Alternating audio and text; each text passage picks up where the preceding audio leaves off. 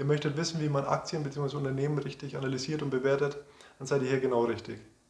Ich werde euch zeigen, in welche Kategorien ich die Unternehmen aufteile und anhand dieser Kategorien dann auch die einzelnen Unternehmen bewerte. Damit das Ganze nicht zu lange dauert oder zu viel auf einmal ist, werde ich das in drei Videos aufteilen. Die ersten beiden Videos gehen allgemein über die Strategie und über das Vorgehen, auch anhand von Beispielen. Und das dritte Video hält dann noch ähm, Erläuterungen und genauere Details dazu. Und damit jetzt viel Spaß.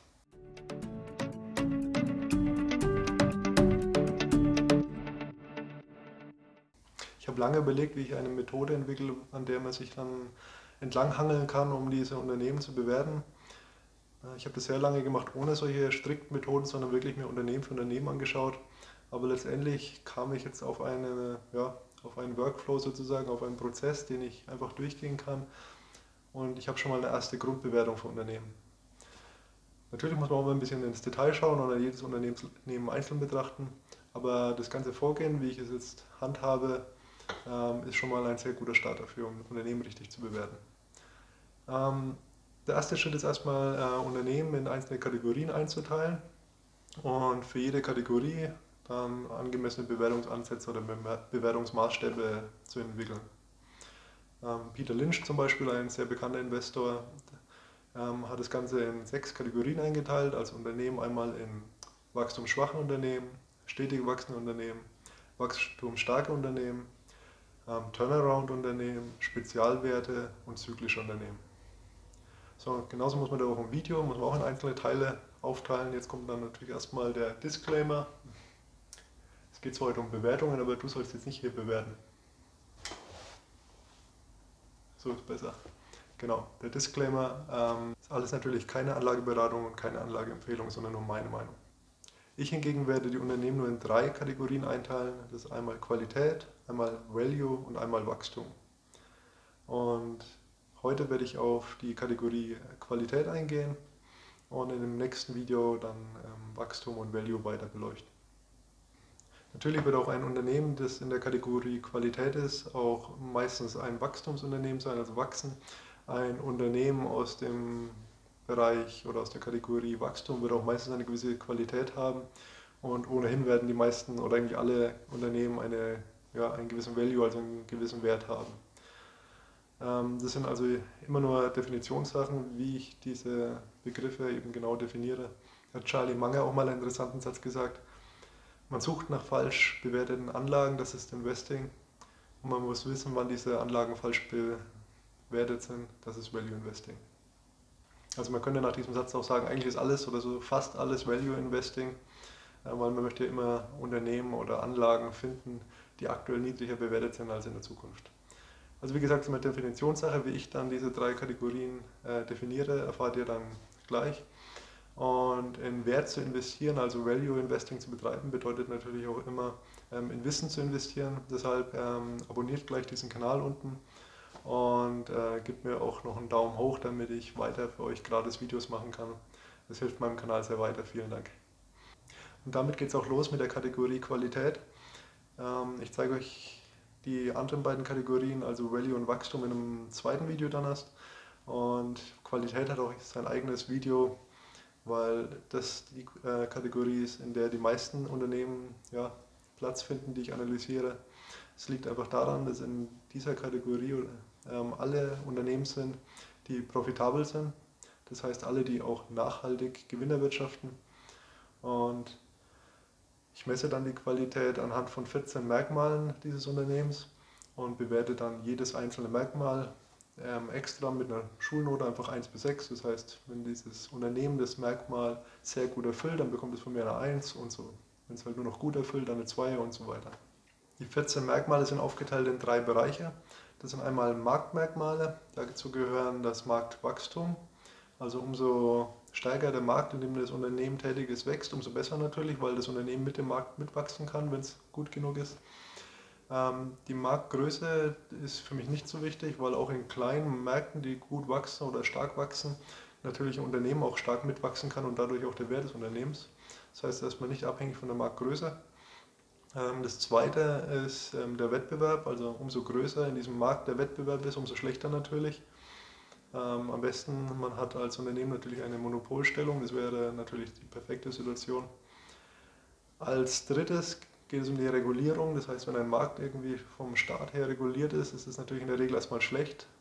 Es kann sein, dass es auch mal vielleicht positiv ist, wenn die Regulierung so aussieht, dass andere Unternehmen dadurch nicht in den Markt eintreten können und das Unternehmen, in das man investieren möchte, da eine sehr gute Marktstellung hat.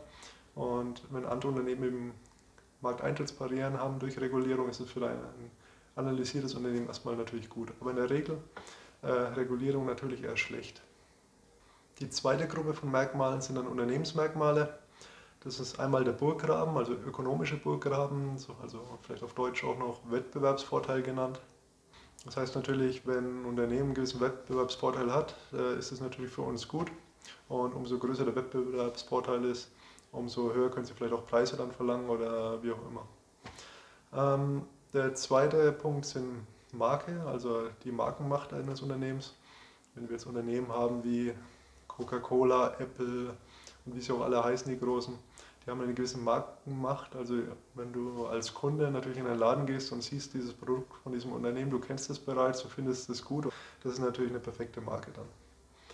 Ähm, das dritte sind die Produkte auch selbst natürlich. Die Produkte müssen natürlich gut sein, und wenn Sie Produkte verkaufen oder die Dienstleistungen, wenn es allgemeine Produkte sind, wie zum Beispiel Handys oder meinetwegen auch Möbel oder was auch immer, dann kann man natürlich auch mal im Internet schauen, wie sind diese Produkte bewertet, kommen die gut bei den Kunden an und umso besser die natürlich ankommen, umso eher werden diese natürlich auch weiterhin verkauft und umso besser für das Unternehmen. Ähm, das nächste ist dann das Geschäftsmodell, also die Skalierbarkeit vielleicht auch, könnte man sagen.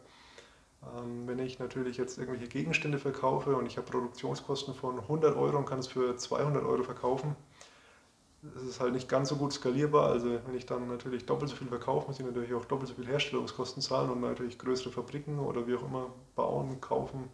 Wenn ich aber dann natürlich ein, sagen wir mal, ein Abo-Modell habe, das heißt, ich habe eine Software, die ich einmalig herstelle und dann im Abo-Modell verkaufen kann, dann ist ja für mich erstmal egal, ob ich die jetzt zehnmal verkaufe oder eine Million Mal verkaufe. Ich habe nur einmal die Herstellungskosten, dann natürlich ein bisschen Support, Supportkosten und ähm, ein bisschen ja, vielleicht Updates oder sowas, aber das ist alles relativ gering. Aber habe dann natürlich eine enorme Skalierbarkeit, das heißt, ich kann die etliche Male verkaufen und der Erlös oder der Umsatz ist natürlich ähm, zu, großen, zu einem großen Teil ein Gewinn dann auch, den ich direkt verbuchen kann. Ich habe keine weiteren Kosten dadurch. Ähm, ein weiterer Punkt äh, von den Unternehmensmerkmalen ist das Management selbst. Also ein Unternehmen, das natürlich ein super Management hat, ähm, ist natürlich auch für uns als Aktionär interessanter als ein Unternehmen, das ein ja, eher träges Management hat.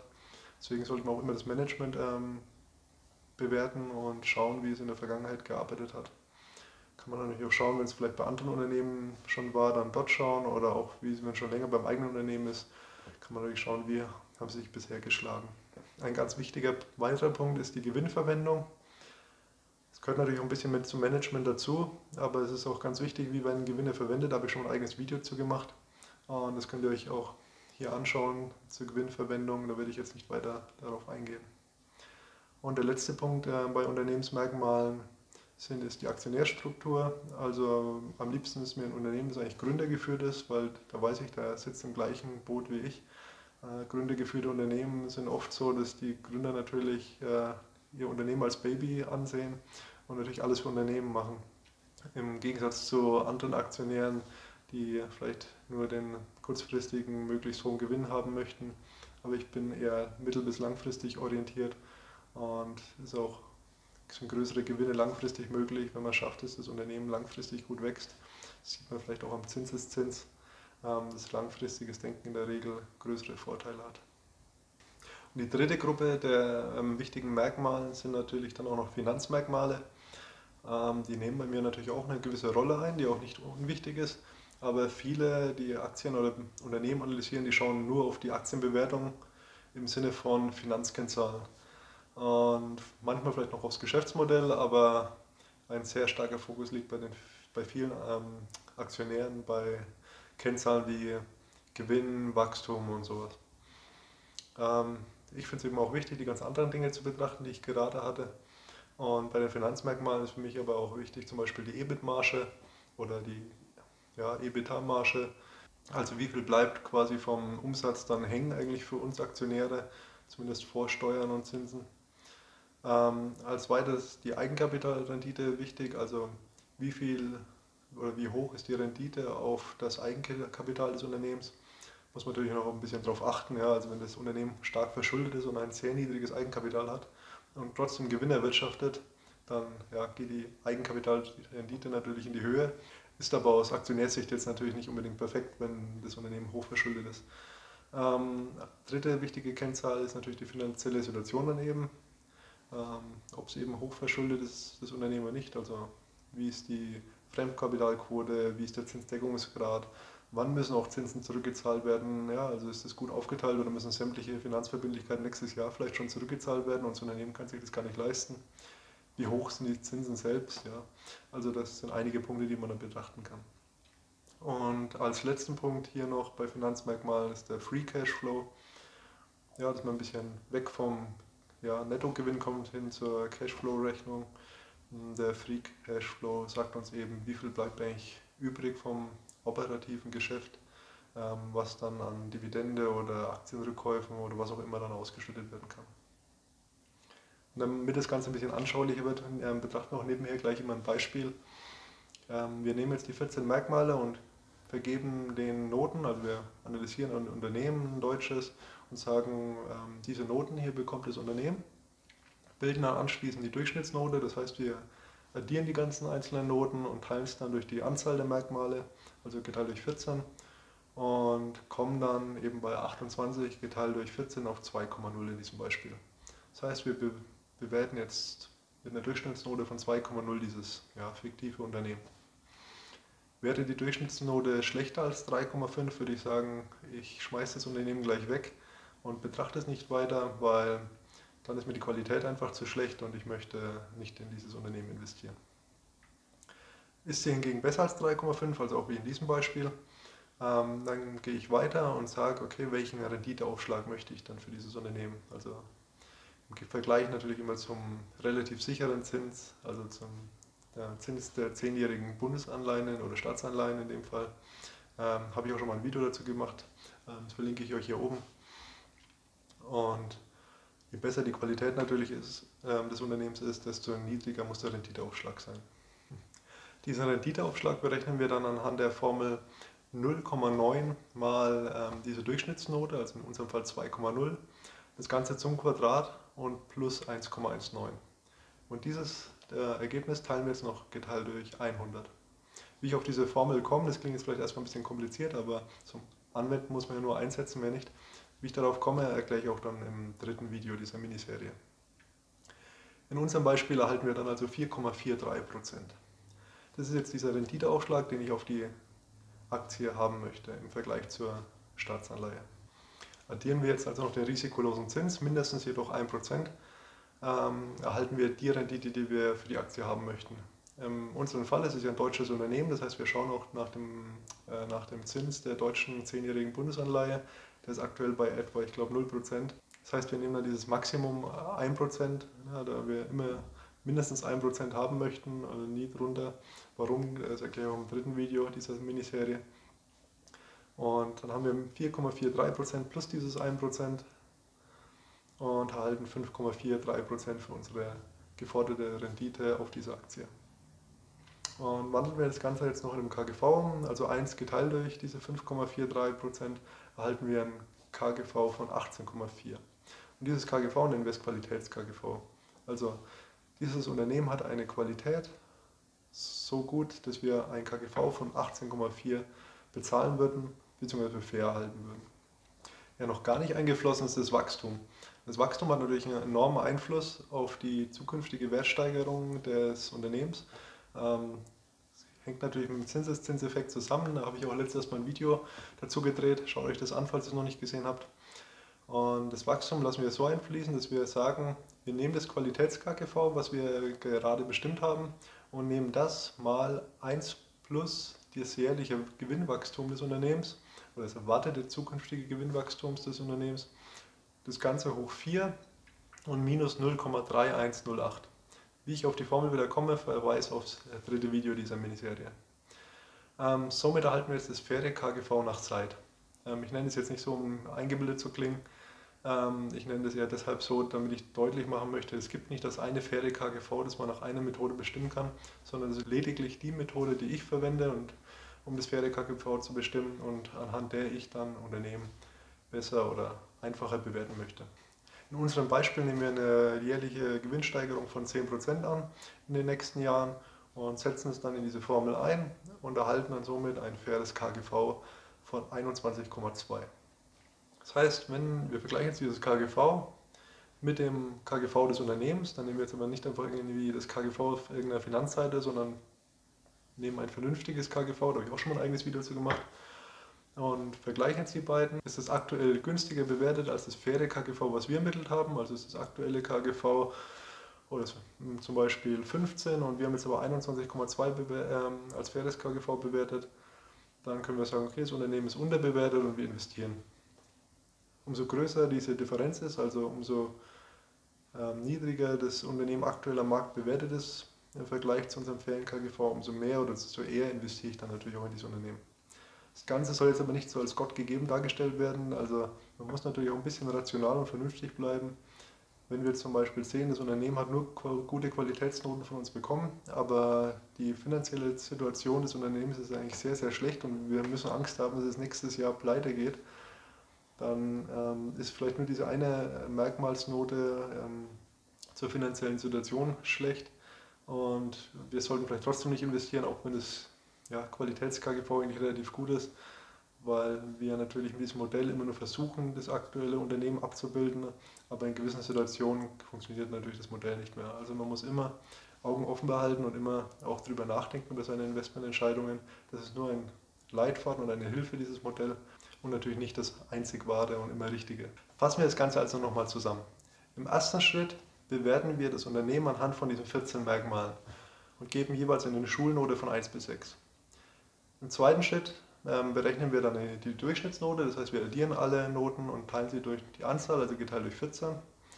Und im dritten Schritt berechnen wir das Qualitäts-KGV anhand dieser Formel.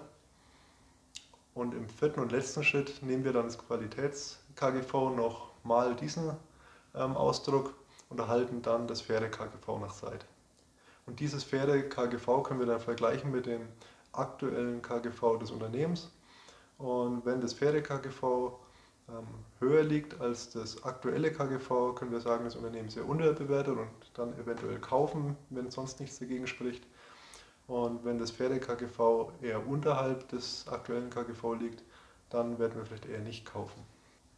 Ja, in Zukunft werdet ihr natürlich dann auch von mir sehr viele Aktienanalysen ähm, sehen, in denen ich dann diese Methode anwende. Da habt ihr dann auch mehr Praxisbeispiele und seht, wie das wirklich funktioniert. Und im nächsten Video geht es aber erstmal natürlich dann um die beiden anderen Kategorien, Wachstum und Value. Und falls ihr Fragen jetzt zu diesem Video habt, also nochmal zu dem Vorgehen ähm, bei, den, bei der Kategorie Qualität, ähm, stellt die Fragen einfach unten in den Kommentaren. Ich werde dann, wenn es kleinere Fragen ist, direkt dort drauf eingehen und vielleicht bei größeren und wichtigeren Fragen kann ich auch im dritten Video auch nochmal genau drauf eingehen. Ähm, vergesst aber auch nicht, mir einen Daumen hoch dann dazulassen für das Video und dann bis zum nächsten Mal bei Value for Investors.